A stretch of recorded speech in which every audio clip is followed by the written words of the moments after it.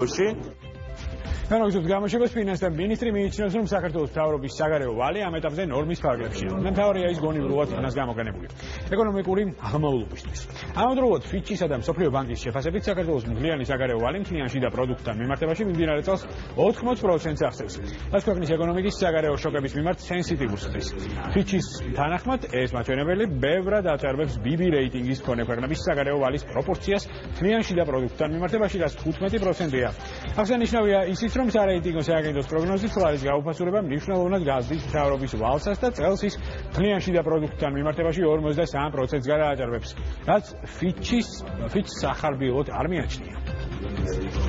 თავრობის ნაწილში ეს არ არის ეს არის დაახლოებით 40% კლიანტის შიდა პროდუქტის თქვენით რომ მასტრიხტის ხელშეკრულებაც რომელიც ევროკავშირის სახელმწიფოებისათვის არის სიტუაციებს რომ 60% შეიძლება იყოს ისევე როგორც ჩვენი ორგანული კანონი ითვალისწინებს. მე ვფიქრობ რომ თავარია როგორ გამოვიყენებთ ამ ვალს და მნიშვნელოვანია ის რომ ვალი მოხმარდეს ინფრასტრუქტურას და ეკონომიკის აღმავლობას